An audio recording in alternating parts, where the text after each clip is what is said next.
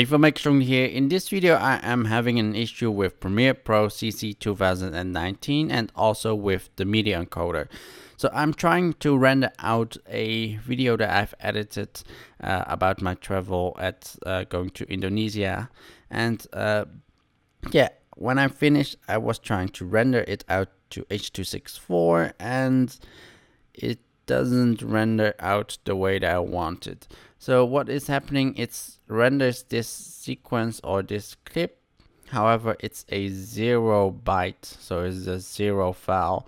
And also it has this weird uh, mp4.xmp, which is also like a very small file. It's only like 66 kilobytes. And the whole video is gone. So uh, yeah, I'm not quite sure why it's doing that.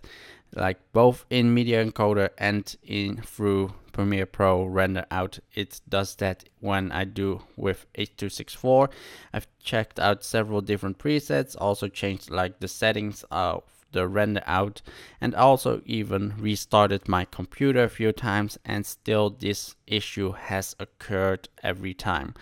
So yeah, I think this is a mega issue from like the latest update from uh, Premiere Pro.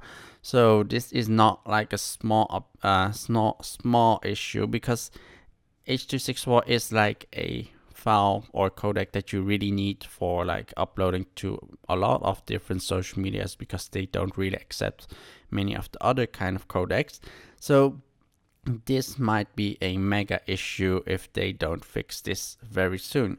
So, but there is of course a workaround. So if you are having this issue also, the one thing you can do is, uh, yeah, go to your CC 2019 to file, export media, and instead of choosing an H264, we go to MOV or go to actually QuickTime change it to GoPro Cineform and just render out one version of your video in Cineform or actually choose an codec that actually still works and then go back to CC 2018 and there just import the entire clip and just render this uh, out and render this in uh, CC 2018 to like your H.264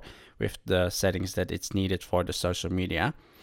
So yeah, that's the workaround. Uh, yeah, going into CC 2018, and also because it's actually still renders correctly in a, uh, CC 2018. So it's not like the codec is broken somewhere on your computer. It means like it has an issue with CC 2019's rendering. So uh, yeah, hopefully Adobe would fix it because I couldn't fix it in my computer uh, doing a lot of different things. So it seems like it's a CC 2019 update since like the last update. So yeah, hope this would have helped some of you guys who are having the same issue as mine.